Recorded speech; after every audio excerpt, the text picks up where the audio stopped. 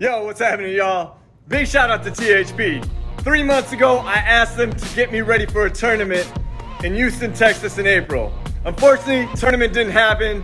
We're gonna play later in the year. At the same time, what has happened in three months, I've got new dunks, I've got new gains, my vertical is shot up, I'm lifting heavier than ever before, my squat has gone up, deadlifts have gone up, I'm feeling great, my body weight's really on point, I'm actually lighter, but way stronger. Stronger, stronger, Stronger, stronger. stronger. Anyways, I just want to say thank you to everybody in the dunk community.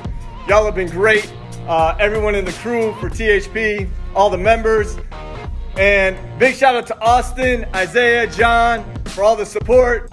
I'll see you guys in Florida. Let's make something happen. Let's go. Yo, follow me at Dunk Expo. Dunk Expo.